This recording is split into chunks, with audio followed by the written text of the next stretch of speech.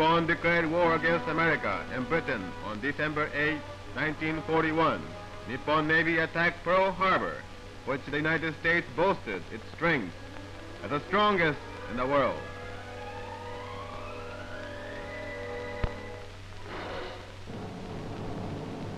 Here are many miles from far Nippon on the Pacific.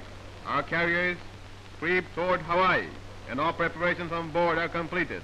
Strong wind blows a velocity of 17 meters per second. The sea is rough, and the waves are high, crashing against the side of the ship with a thunderous noise.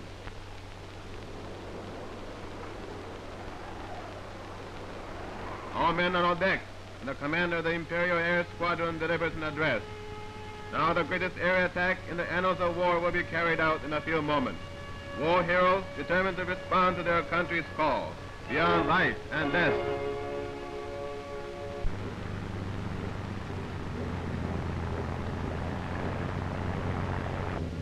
One by one, Navy Eagles pop off from the deck, carrying the load of many bombs with the smoothness of the seagull.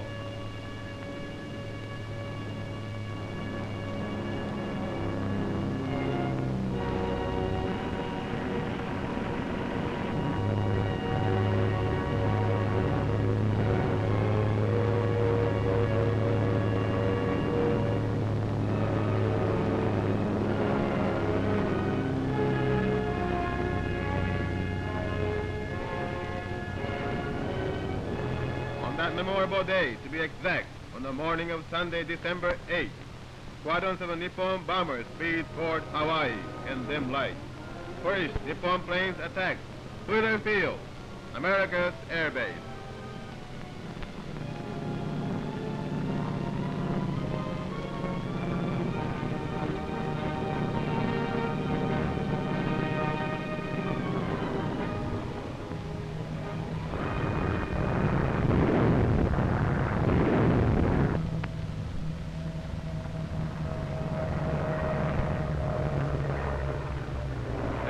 Next, Island, Nippon planes release heavy charges.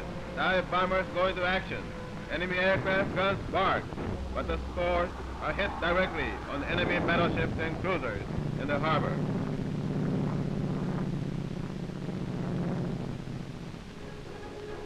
This shows the miserable state of American Navy, which once boasted of its strongest fleet in the world.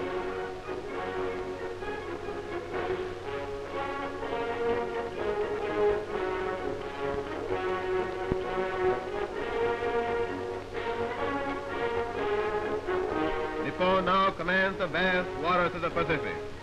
Her mighty warships plow the waves majestically.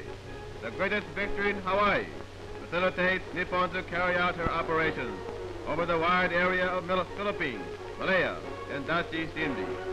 The retreat of America and Britain from East Asia is imminent. A new chapter in the history of Asia begins.